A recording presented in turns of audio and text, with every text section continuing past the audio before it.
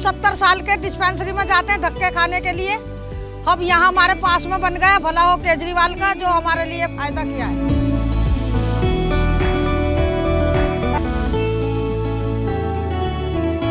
पहले वही बीमार रहते थे बहुत दूर भागना पड़ता है परेशान होते हैं। पास में बहुत फ़ायदा फ़ायदा है तो।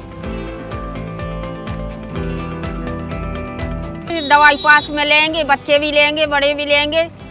पहले दिक्कत होती थी वहाँ डिस्पेंसरी दूर भागना पड़ता था पास में खुलवा दिया अच्छा ही कर दिया बहुत अच्छा लग रहा है हम तो केजरीवाल को बहुत शुक्रिया अदा देते हैं कि हमारे बच्चों के लिए हमारे लिए बहुत अच्छी सुविधा करी हमें दूर जाना नहीं पड़ेगा